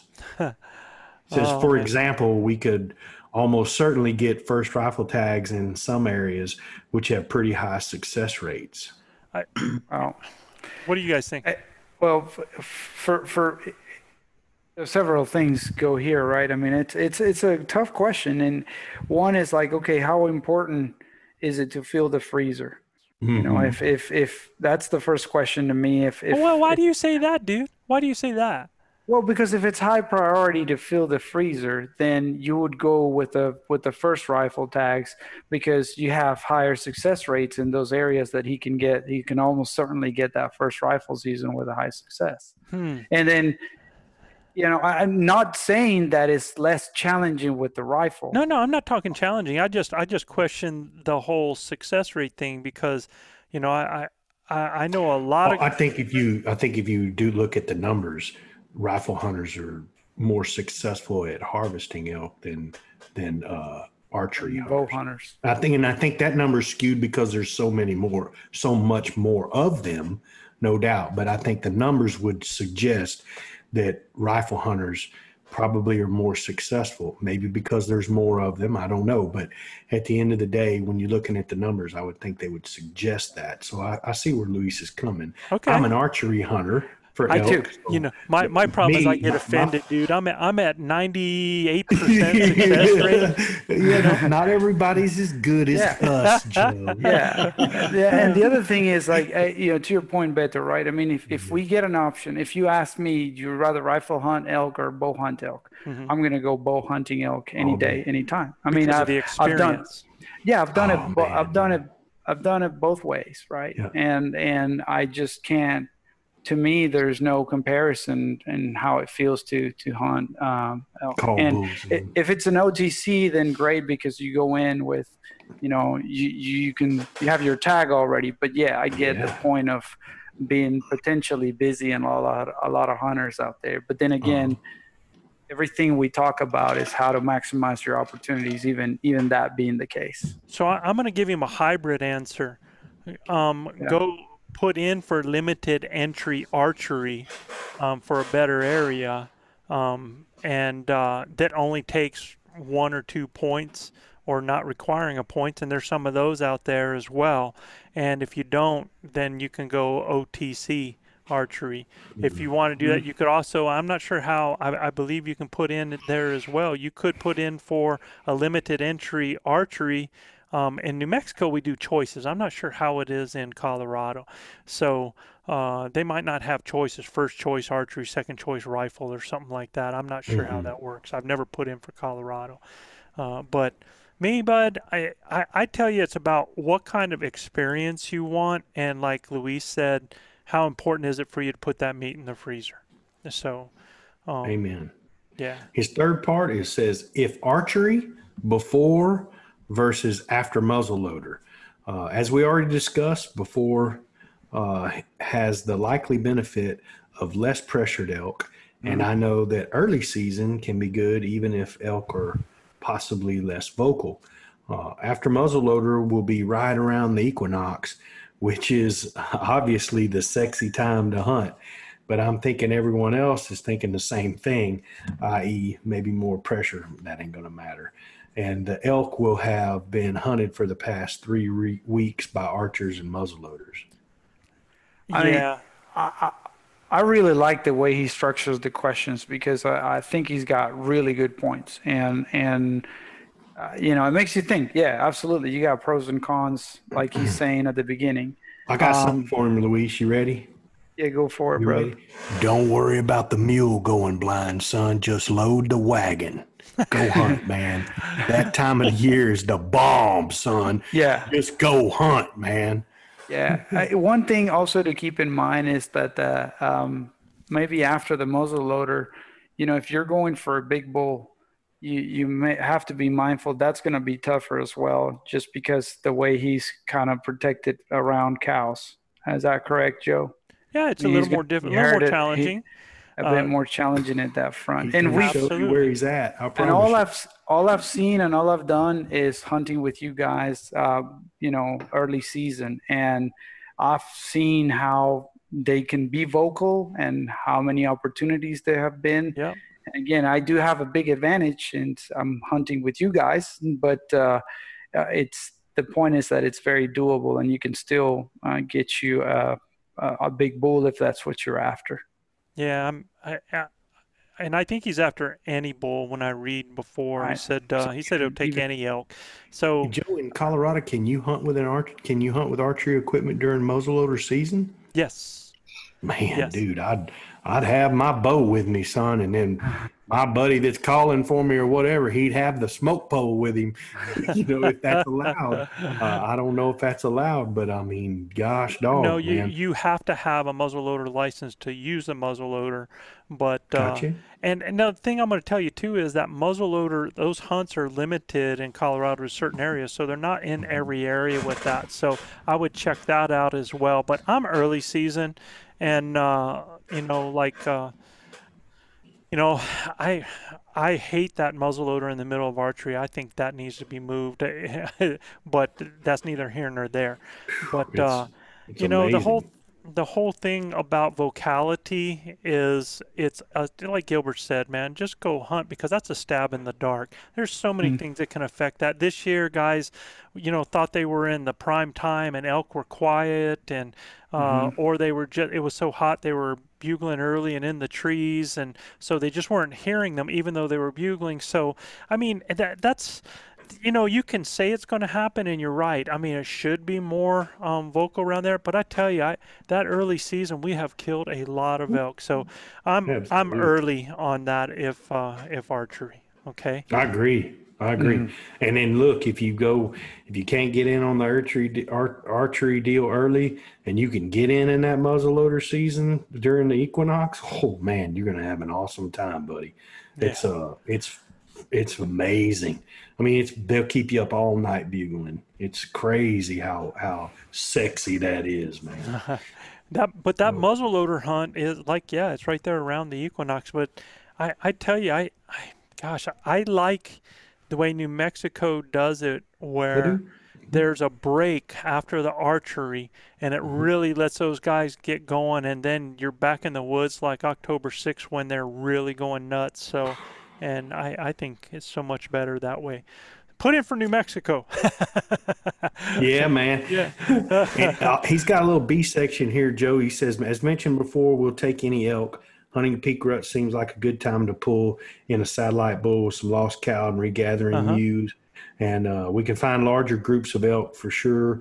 I'm just not sure the strategy plays well where I've where we've hunted in the I, areas we've hunted. You know, he says uh, there are low overall numbers with pretty high bull to cow ratios uh, on that data that he's been looking at, which was a 2019 data. Mm-hmm. Though the note uh, this may be artificially high, he says. 41 uh, to 100 is uh, that's a heck of a ratio, almost two to one. Almost two to one. Mm-hmm. He said, in my experience, bulls are usually only keeping a group of three to six cows, maybe due to the high overall number of bulls and uh, relatively and the young, young age, age, class. Yeah. yeah, the young age class. Yeah. Due to the large number of hunters, he said, I'm wondering if an area with many more elk with lower ratio would be better for this strategy. Tra- uh, this strategy to play out. Uh, you know, again, kind of depends on the age class. You know, there's there's a lot mm-hmm. of variables there with that because I mean, if you have low numbers with uh, with uh, a low a low age class in that too, those cows are just going to kind of settle in there, and uh, you don't have as many, so there's going to be bigger groups with the cows, and there's not enough competition. Yeah, mm-hmm. I don't mm-hmm. know about that. I I'd, I'd, really have to chew on that a little bit. I I I think um, the higher the cow ratio, uh, if your age class is the same, I, I like the competition. At least you you have bulls that are going to try to go fight and take bulls from other bulls. There's, you know, it's it's going to be better. And the the thing I like about it, if you go to that high um, bull to cow ratio and you go in and and they have a lower age class bull with those cows now you have the ability to go in there and scream like a huge mature bull and throw challenges out and pull those cows away bringing that younger bull over to you.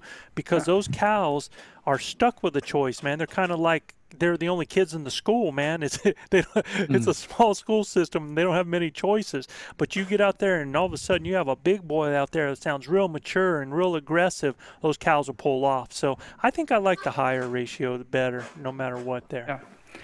So now, um, I'll have to give it out, give it to Mr. Sawyer. Um, I think the questions are great, and I'm always, you know, happy to see guys really doing their research and thinking their hunt out and planning it right and, and just doing their homework. So, um, very, very cool stuff, man. Thank great you for question. writing. Yeah. So our, our last question for tonight, man, before we get out of here, is from Jason Turner from Florida, and, and Jason says, "Guys, I love the show and have been a faithful listener. Thanks to the whole crew." He says, "I have two questions. first, and we'll handle this one first. I often hear y'all ribbing each other and having fun. just just wondering if there are some bloopers during the show that we don't get to hear." If Man, they only knew. And he and he said that today, and he today was today. probably the biggest day where the biggest bloopers took place. Man. I mean, we were we wrote we uh wore the two button out. Whoop, whoop. I mean. it was bad. It was bad. I mean, it all. It'd be like beep, beep, beep, beep, beep. Yeah, it was I, pretty rough, man. And Chav in the background was like, "Well, take two hundred. Yeah, well, take two hundred and fifty. Uh, yeah, yeah. So, it was bad today. I, am trying to look because I actually had a, a blooper from from last week, and oh. uh, uh, I think it was yeah I think it was last week, and uh, and I, I'm gonna sh- I'm gonna share my screen. So if any of you guys, I I don't know how well it's going Uh-oh. to play. Uh oh. And I don't know if you guys can hear See, Joe, you all need to understand. Joe does all this stuff in the background without us knowing. This is like we have yeah. not seen what he's about to play now. so, I mean, no this, anything can anything do, can happen. So, uh, I'm so you guys got to tell me if you if you hear audio on this. If not, I'm gonna Oh uh, boy. I gotta find a way to do this. so I'm gonna share my screen. Let's Thanks, see. Jason.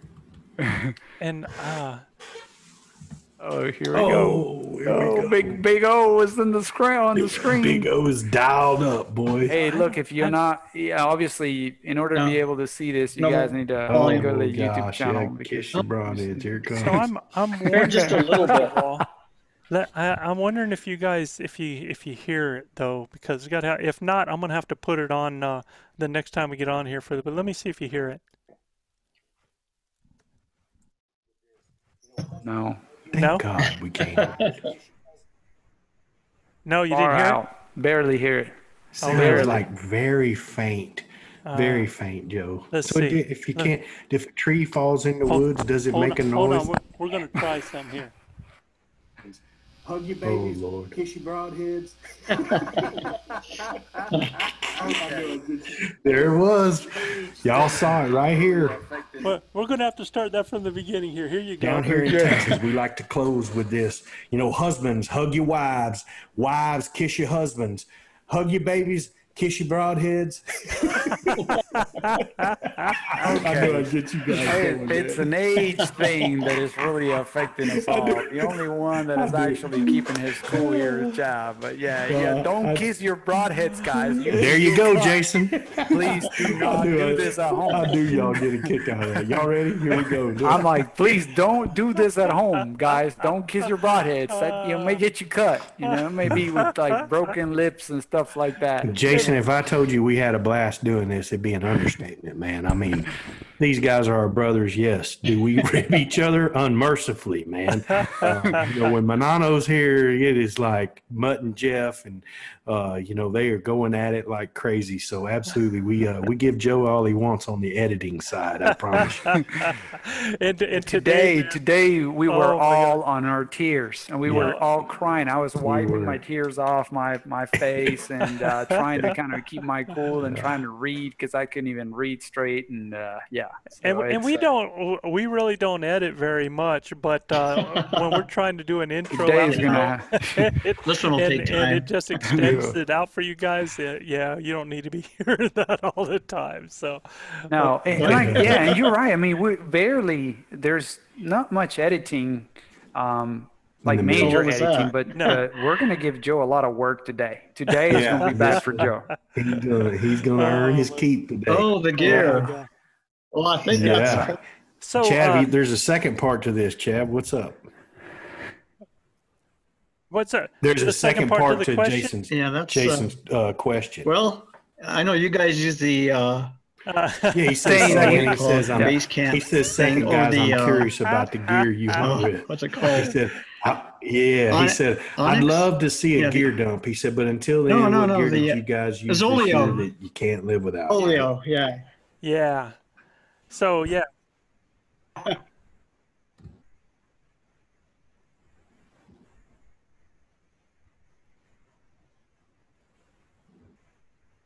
Onyx.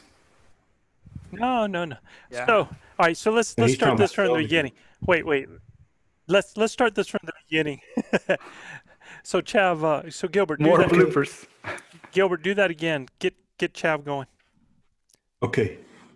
Hey, so Chav, uh, there's a second part of this question right here. He says, uh, I'm curious about the gear you guys hunt with. He says, I'd love to see a gear dump, but until then, what gear did you guys use this year that y'all won't be without next year? Well, I know the Zoleo is big for Yeah, communication. yeah. Yeah, especially with Uh, you go and ahead. I, huh, Chav? Yeah. Fantastic stuff. Because we could talk to, we could talk to, we could talk to Chav back at, at, at base camp in Cimarron. Yep.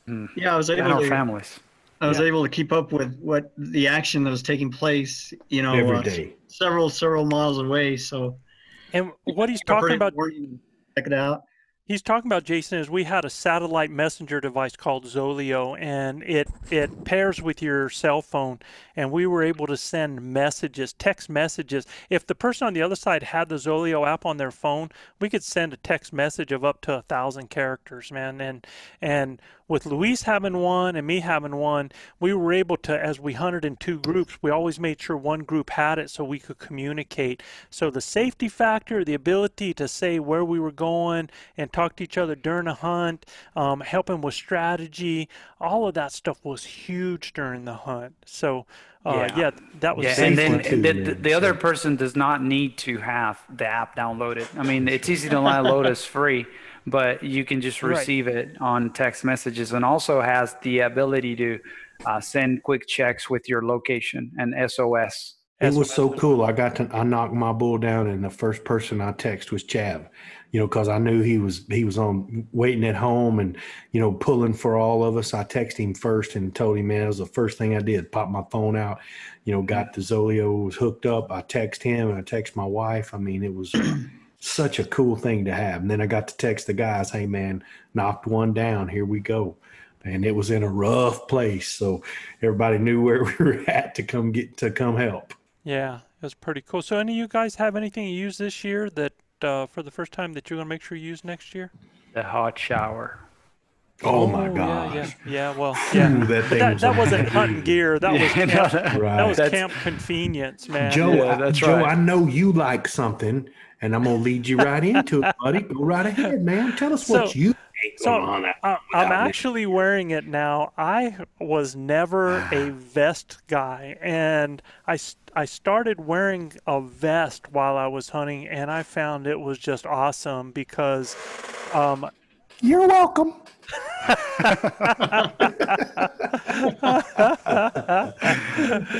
yeah, yeah. Gilbert Gilbert wears a vest. I, I it, it, it's not All the one like this, man.